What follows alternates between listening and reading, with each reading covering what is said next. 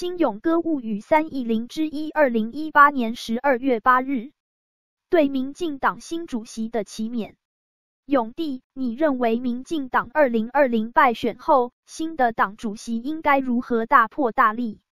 勇哥，一、台湾价值落实被蔡总统说是台湾共识的台湾前途决议文，大声说出放弃一个中国。二、党内民主。党员参与公职候选人初选提名，应占百分之三十以上比例，废除没有排栏的全民调。三、党团自主，党团立委应扮演监督制衡的角色功能，不能沦为一言堂，成为行政部门的橡皮图章。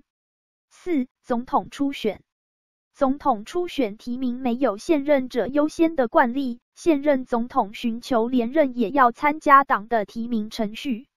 五、党政分际，党政同步也好，以政领党也罢，不能违背党政分际。党代表大会提案不能被吃案。